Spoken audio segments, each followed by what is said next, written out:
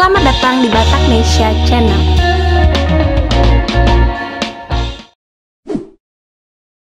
Kali ini kami akan membahas sosok profesor asal Samosir yang dipercaya dua kali menjabat sebagai rektor Universitas Parahyangan Bandung. Siapakah beliau? Langsung saja simak ulasan berikut ini. Sebelum lanjut, jangan lupa subscribe, like, dan share ya agar kami lebih semangat memberikan informasi tentang budaya Batak dan juga tokoh-tokoh Batak yang menginspirasi kita semuanya. Mangadar Situmorang merupakan kelahiran Samosir tahun 1964. Terlahir dari keluarga yang agamanis dan berlatar belakang pengajar, Bapak Mangadar bercita-cita menjadi seorang pastor. Sedikit demi sedikit cita-citanya beliau gapai dengan masuk seminari pada bangku SMP sampai SMA di daerah Pematang Siantar. Sosok seorang Mangadar Situmorang tidaklah asing lagi di kalangan Universitas Katolik Parahyangan atau UNPAR. Setelah bertahun-tahun mengabdi pada UNPAR, Bapak Mangadar diangkat menjadi dekan Fakultas Ilmu Sosial dan Ilmu Politik UNPAR pada tahun 2011.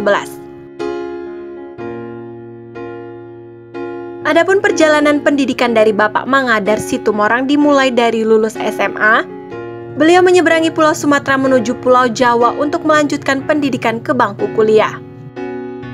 Bapak Mangadar memilih berkuliah di Universitas Gajah Mada atau UGM jurusan Hubungan Internasional. Setelah menyelesaikan studi S1-nya, beliau melanjutkan studi S2 Magister Ilmu Politik di universitas yang sama pula. Tak puas hanya bergelar magister, Bapak Mangadar melanjutkan studi S3-nya ke negeri seberang yakni Australia. Atas beasiswa yang beliau terima, beliau memulai satu tahun di Flinders University, Adelaide pada tahun 2003. Kemudian melanjutkan dan menyelesaikan PhD-nya di Curtin University Perth pada tahun 2007. Kemudian Bapak Mangadar Situmorang menempuh postdoktoral di Asia Research Center, Murdoch University Perth.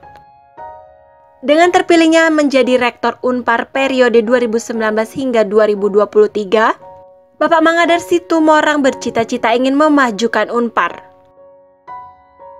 Beliau akan mengajar akreditasi internasional untuk beberapa program studi. Bahkan beliau mengaku ingin membuka program studi anyar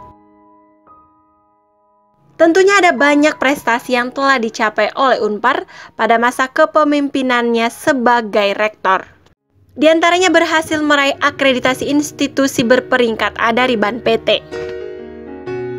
Sehingga hal ini tetap mempertahankan posisi Unpar yang berada di antara perguruan tinggi swasta papan atas menurut penilaian Kemenristek Dikti. Selain aktif mengajar dan menjalankan tugasnya sebagai rektor, Bapak Mangadar juga suka melakukan riset tentang resolusi konflik, organisasi internasional hingga politik Indonesia. Hal lain yang kerap dilakukannya dalam menulis di jurnal akademik dan surat kabar. Selain itu, beliau juga merupakan anggota Asosiasi Ilmu Hubungan Internasional atau AIHI. Community of East Asia Scholar dan Forum Akademisi untuk Papua Damai. Sekian informasi singkat mengenai Bapak Mangadar Situmorang.